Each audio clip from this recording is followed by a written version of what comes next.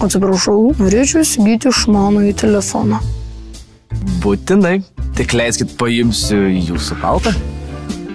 Dabar bitėje vaikiškai mažos kainos. Išmanieji telefonai tik iki 200 eurų. Įsigykite bitė.lt ar salonuose. Bitė. Taip lengviau.